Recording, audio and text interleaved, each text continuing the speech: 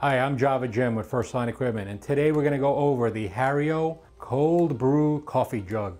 We'll show you how to use it, and hopefully you can too at home. The staff here at First Line wants to make sure that you understand this one important point regarding cleaning. And basically, just clean it with a non-abrasive detergent and a very soft sponge. If you do decide to use an abrasive sponge, you will scratch the glass. So here's the packaging for the Hario Cold Brew Coffee Jug. As you can see, there's some instructions on the side as well.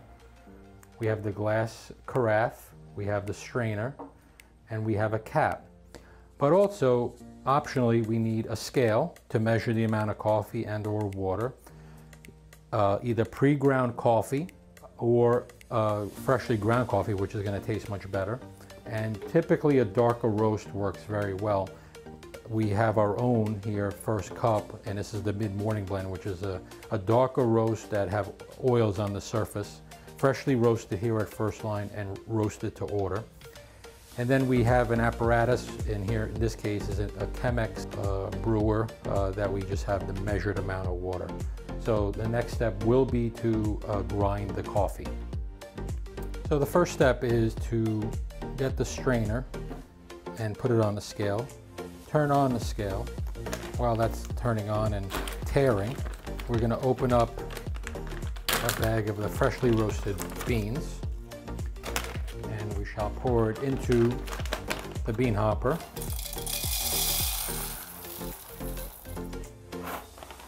And typically you want a medium fine grind for the cold brew, but it also comes down to taste.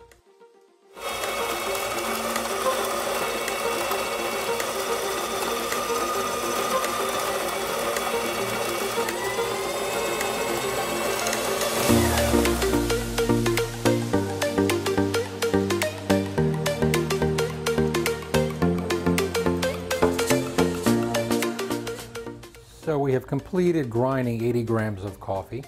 Next step is to get our carafe right there, the jug. Insert the strainer into the carafe.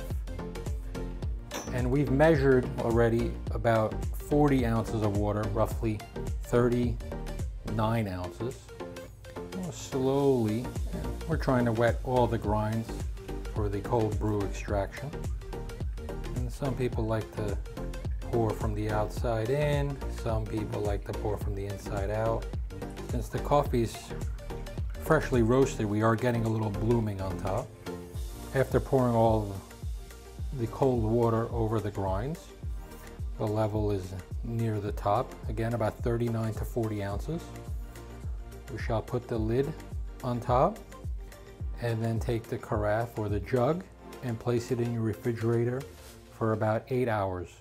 You can shorten that time or you can go a little longer than that time.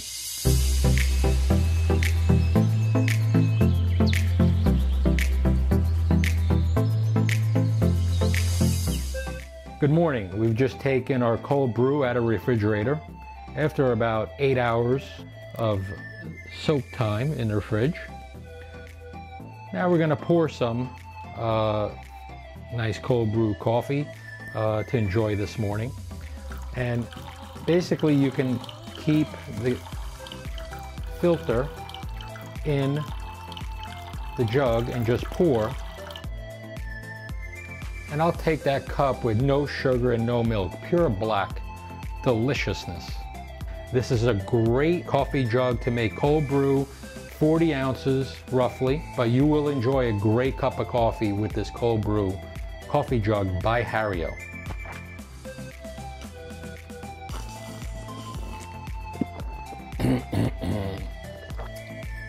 Delicious.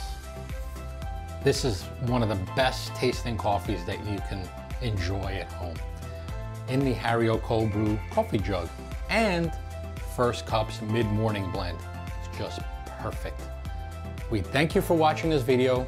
Subscribe to us, follow us, and have a great day. Thank you for watching.